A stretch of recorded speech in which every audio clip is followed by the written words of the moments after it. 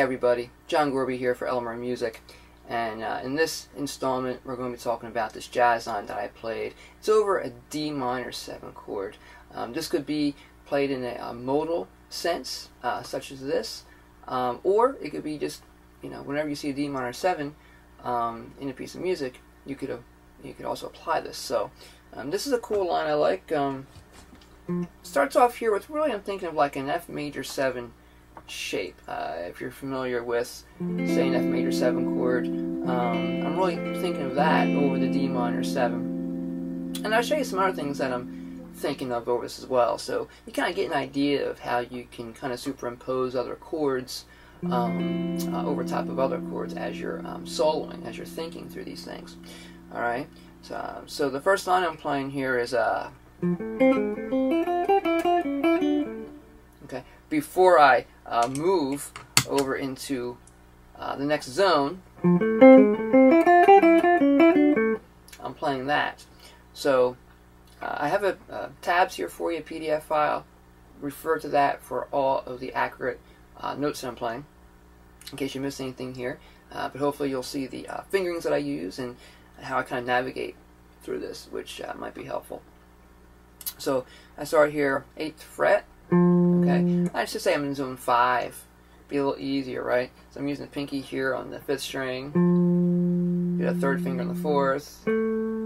First finger on the 3rd string. Then I step in that 3rd finger on the 4th. I come back and I do a 2 3. Then I go 1 third, 1 second. Just go one, two, four, one, two on the second string, two finger on the third, back up to the one on the second, three on the third, three on the fourth.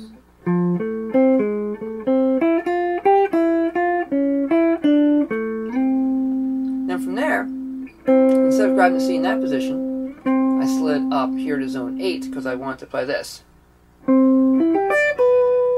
So I'm basing this off of like a C triad now. So here, I'm just playing uh, 3, 2, 1, so it's frets 10, 9, 8. Going to the pinky on the 10th fret, first string. Pulling off to the first finger here at the uh, 7th fret. 2 in the second, 1 third. Move the whole thing down a whole step. Let me show you what I'm thinking there. Um, I'm thinking of a, a G chord here, um, really. Now, all this kind of overlaps, okay? Um, if you're thinking of C, you're thinking of, of a G chord. You might be thinking of, say, like a, a C major 9. Uh, I'm not going to get too heavy into the into theory in this in this lesson. It's not for that. Uh, however, it is important to understand where these licks do come from so you can digest them, you can comprehend them better, uh, and you can uh, remember them, okay? Um, so if you think of this as a C triad, right? Then I'm here, I'm just coming off of, say, a G triad, okay? Then an F triad, I'm coming down here a whole step lower. Okay, so again, 5 on the first, 6 on the second, 5 on the third.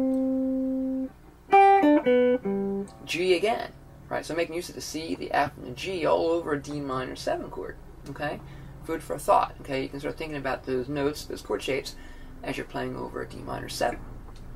Now here it's just going to be a 3rd fret first string, 3rd fret second string, 4th fret 3rd string, 5th fret 4th string. And then I slide from fret 2 to 4 and back to 2 on the 3rd string. I have that. Okay, so real slow.